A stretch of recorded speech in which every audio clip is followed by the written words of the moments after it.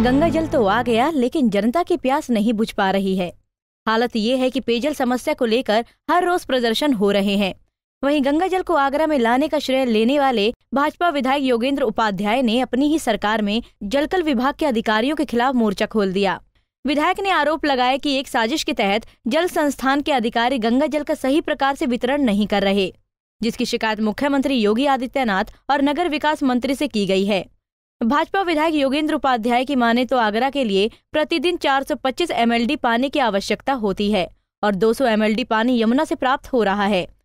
वहीं 375 एमएलडी गंगा जल जल संस्थान को मिल रहा है, जो कि आवश्यकता से अधिक पानी है, लेकिन फिर भी अधिकारियों की लापरवाही से जनता की प्यास नहीं बुझ पा रही। ऐसा है चिर प्रतीक्षित आगरा की पेयजल समस्या का समाधान जो था, गंगा जल आगरा में आ चुका है।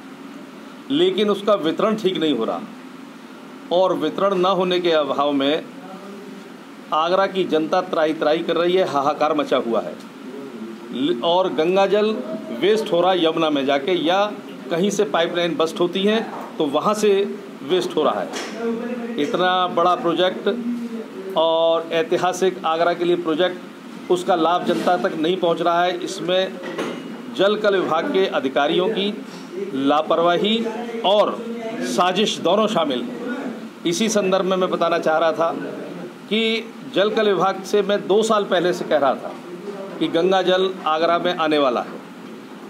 तो 2016 से ये मैंने कहना शुरू किया था कि 2018 दिसंबर तक गंगा जल आ जाएगा। तो वर्तमान जो उनकी पेयजल वितरण की व्यवस्था है, उसको दुरुस्त कर लीजिए। नहीं तो दो बातें होंगी। एक तो ये कि अगर हम उदाहरण के तौर पर बिस्लरी खरीदें और गंदे गिलास में जन, जनता को पेश करें। वो उदाहरण बनेगा।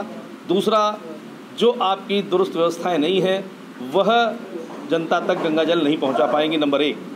नंबर दो जो आधी अधूरी व्यवस्थाएँ खड़ी हैं उनको पूरा कर लीजिए दो साल का समय है अभी जिससे जब आपके दरवाजे पर गंगा जल आ जाए तो जनता के द्वार तक पहुँच सके। हमारा काम था गंगा जल को जल संस्थान के द्वार तक लाना। आगरा को 400 एमएलडी पानी पर डे की ज़रूरत है। 375 एमएलडी गंगा जल ही आ रहा है। 200 एमएलडी यमुना का जल प्राप्त कर सकते हैं। यानी पानी इफरात में है अब जल कल विभाग के पास, लेकिन वितरण व्यवस्था नहीं हो रही ठीक से। वह उसमें साजिश शामिल है। जीएम जल संस्थान और वहाँ के कुछ ठेकेदारों की। ये कॉकस है। ये कॉकस मिलकर इस सब व्यवस्था को चौपट किए हुए पैरालाइज किए हुए हैं। मैंने माननीय मुख्यमंत्री जी को इस बात से अवगत कराया है।